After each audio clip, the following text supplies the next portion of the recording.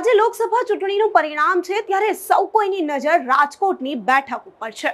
પરસોત્તમ રૂપાલા કે પછી પરેશ ધાનાણી? ત્યારે પરેશ ધાનાણી જીતની વાતને નેવે મૂકી વારંવાર ભ્રષ્ટાચાર અને મોંઘવારીના મુદ્દા ઉઠાવી રહ્યા છે.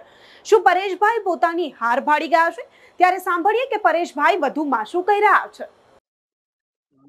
ચૂંટણી એ લોકશાહીનું પર્વ છે અને લોકશાહીના પર્વમાં જનાદેશ હંમેશા સર્વોપરી હોય છે.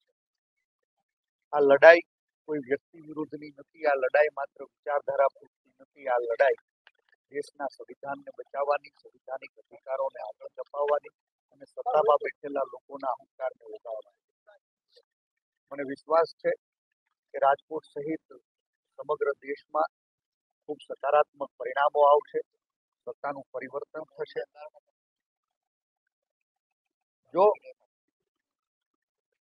કોંગ્રેસ જીતશે તો મને સંપૂર્ણ વિશ્વાસ છે કે મંદી મોંઘવારી બેરોજગારી અત્યાચાર ભ્રષ્ટાચાર એ હારશે રખેને જો ભારતીય જનતા પાર્ટી જનાદેશ મેળવવામાં સફળ થઈ તો આ દેશની માટે આવતા પાંચ વર્ષ ખૂબ કપરા હશે ભારતીય જનતા પાર્ટી જીતશે તો એ સત્તાનો અહંકાર છે. ઇન્ડિયા ગઠબંધન આગળ આગળ ચાલી રહ્યું છે. પરેશભાઈ ઘણી જગ્યાએ ઇન્ડિયા ગઠબંધન મને સંપૂર્ણ મને સંપૂર્ણ વિશ્વાસ છે કે દેશના લોકોએ સત્તા પરિવર્તનનો સંકલ્પ કર્યો છે.